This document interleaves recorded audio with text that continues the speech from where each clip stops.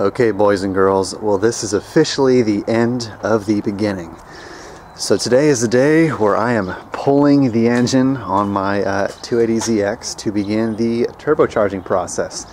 Now, this is going to be by far the most mechanically extensive work I've done on this car, and I am a little nervous, but I have pulled two of these engines before on S30s, and the process is very simple um, and uh, relatively the same for the S130, except you just have more accessories.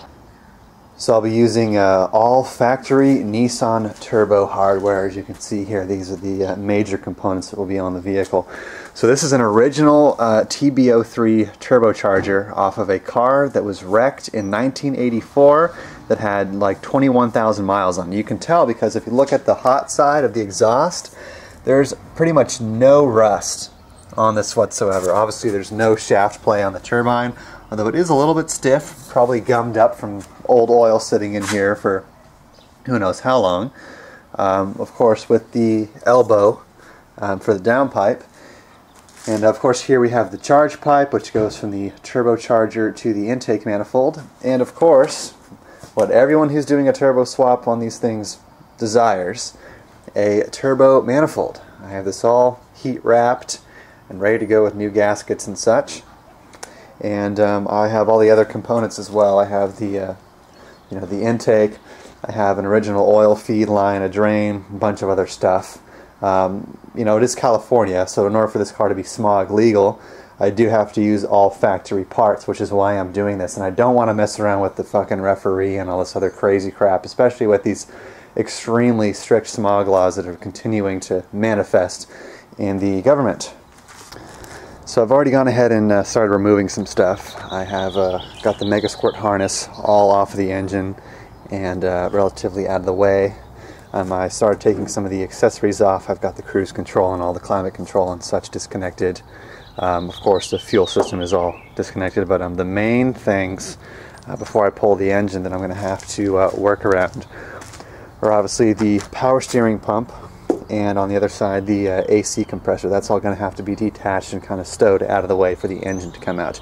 Everything else is pretty much the same on the uh, the S30s that I've worked on. So of course, other than that, you have uh, the radiator, starter, obviously both engine mounts, um, the heater core needs to be disconnected, and of course disconnect the uh, engine from the transmission. Now I'm, I'm not pulling these together. I'm not pulling the engine and the transmission together. Um, mainly because I'm working with a relatively crude setup just like last time where I just got the cherry picker and just some chain. Um, so I'm not going to be able to tilt the engine up because it's just it's just that setup is just not available around here unfortunately. But I've done it this way with three other cars and it works fine. You just have to get a little bit of wiggling for the engine and transmission to mate back up together and that's really it. So without further ado let's get this going Okay, so I've got basically all of the silly stuff out of the way. The air intake is completely removed. I have all of the lines disconnected from the uh, power steering pump, as well as the uh, coolant lines for the heater. And uh, the starter is disconnected, so now that all this is kind of out of the way, what I'm going to do next is pull out the radiator. And once the radiator is out, we're going to have a lot more room to dick with the AC compressor and the alternator and that sort of stuff. Start pulling off these fucking hoses, because hose mad you pass me that screwdriver? Yes, sir.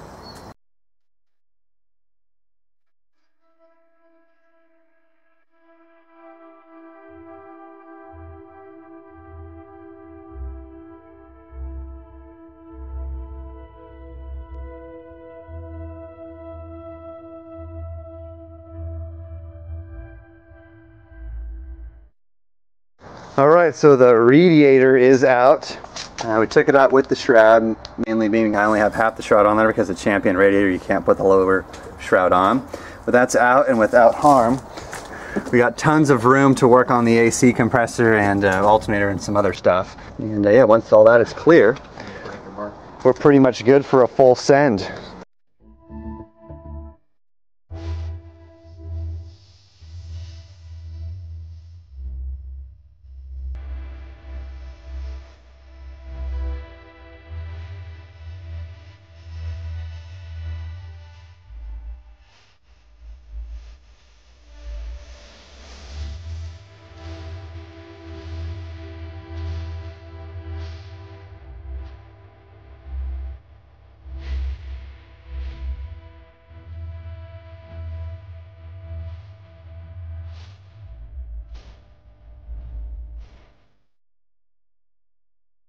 Okay, so I think we're just about uh, ready to pull the engine out. Um, we've got just about everything disconnected that I can think of.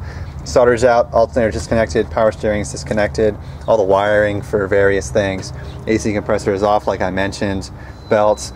Um, I think uh, at this point, obviously, we got to take the hood off, maybe start uh, cracking some bolts loose on the bell housing, and then uh, look up the cherry picker and see if she'll come out without breaking anything. Dude, where'd you get this NASA space grade tape for your fuel rail?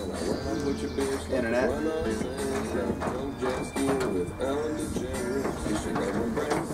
Oh, she's coming. Get ready, Mike. Oh, all right. Nice and swing her up. There we go. Yeah. That's what I'm talking about.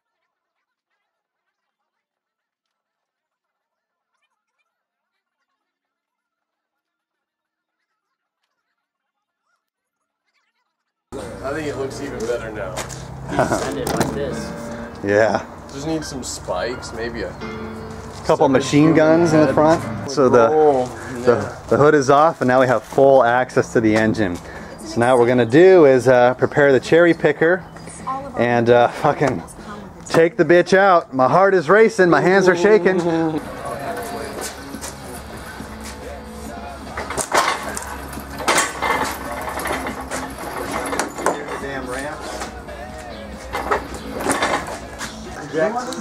Okay, boys and girls, well, this is the moment we've all been waiting for.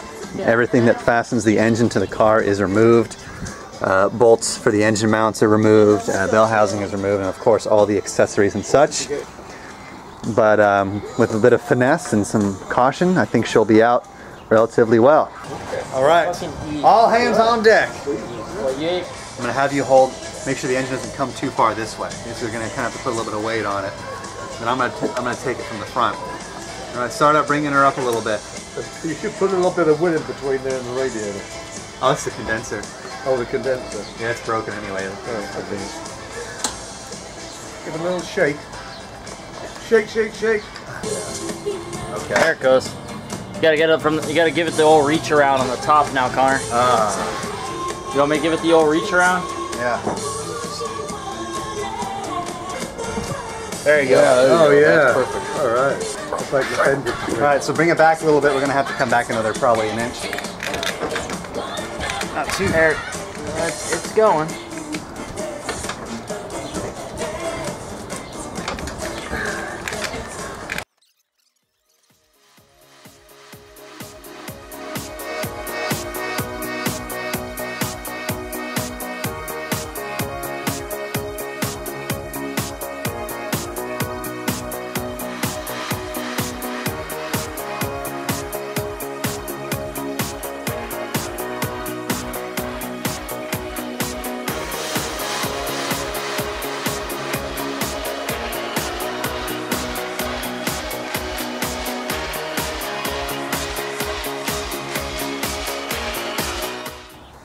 Well, the moment I thought I'd never ever see, the engine is out of my damn car. And luckily, it all went pretty damn smooth. So now, basically, um, I didn't do it before because I don't want to end up laying in a friggin' lather of oil while I was uh, digging with the transmission. So I got to drain the oil. I'm going to take the clutch off, and then once I do that, I'm going to go ahead and grab the engine stand, put it on the stand, and start uh, stripping her down.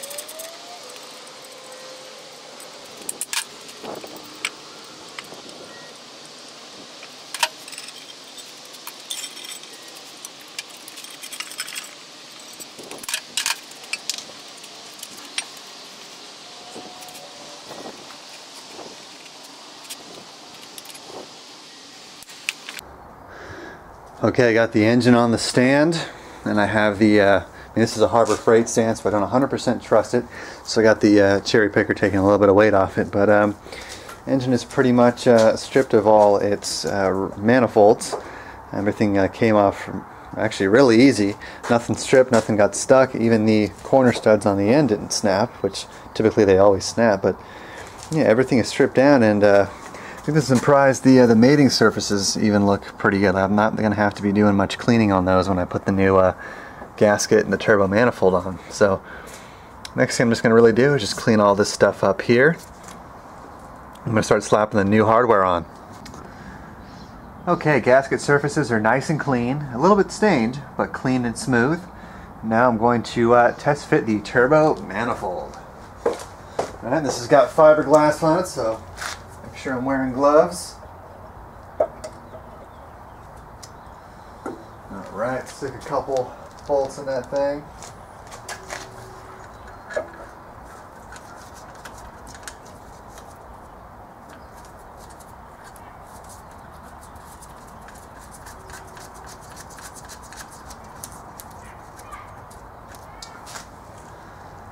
Yep, that fucking fits right at home.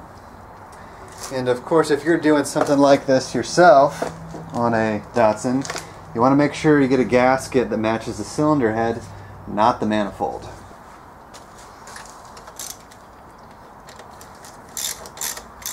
Just going to get it kind of tight. I'm not going to torque it down yet until I have everything on.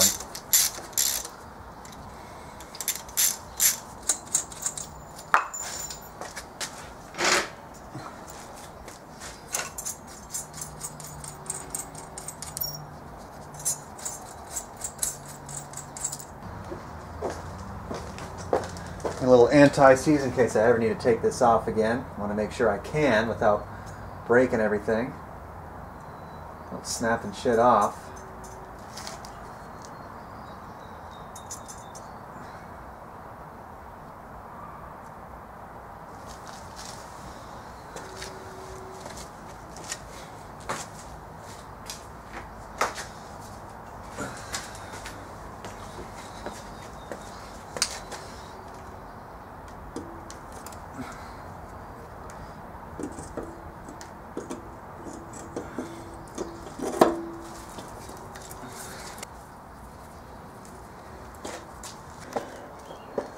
Well, it looks right at home. Turbocharger is in place. Went on with no problem because of course it did. It's the engine's designed for that. But now what I'm going to do is I'm going to replace both the oil inlet, high pressure, and outlet gaskets uh, because they're original and don't want to uh, have to end up doing that down the road. So I'm just going to do it while it's uh, out of the car, obviously.